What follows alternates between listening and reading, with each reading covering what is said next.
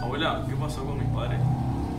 Tu mamá era muy joven cuando naciste y no pudo resistir el parto.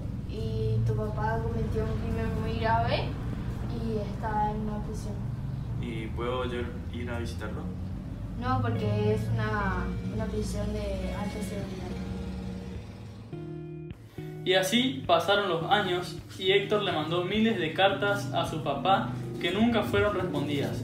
Pero cuando Héctor cumplió 18 años, esa, esa misma mañana la abuela le dio a Héctor una flecha y un arco.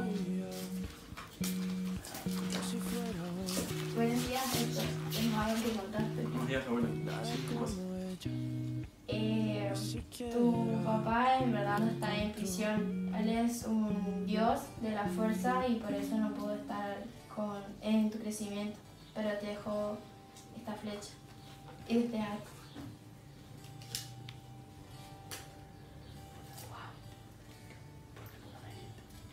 ¿Por qué no me dijiste antes, abuela? Él me pidió que no te lo dijera, pero me dijo que iba a estar, desde- a partir de este momento iba a estar en contacto con vos. Y no pasaba nada, hasta que un día el padre se comunicó con Héctor a través de un sueño. Hijo, estoy en peligro, necesito que me vengas a rescatar. El arco que te di es muy poderoso. Yo estoy en un bosque, telepáticamente lo sabrás. Papá, ahí voy. Y a lo lejos ve a su padre con un guardia.